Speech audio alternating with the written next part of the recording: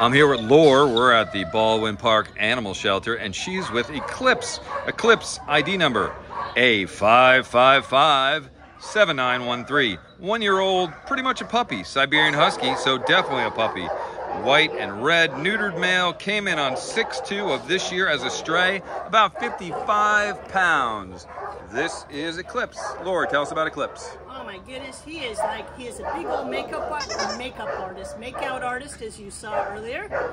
Um, he is really friendly. He's like one of those never met a stranger kind of personalities, and that includes the dogs. Um, I think he could. He doesn't have that much in the way of training, but he's treat motivated, and I think he would really, really benefit from a uh, group class where he can get his puppy basics in and he can also get some socialization skills with other dogs.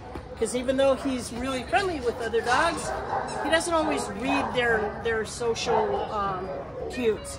So come on down and meet him. He's a great little boy and he's so handsome and he's gonna be a magnet for for love. Perfect. So again, it's Eclipse Baldwin Park Animal Shelter, and uh, he needs some training and maybe some socialization, but he's good to go other than that. Come meet him.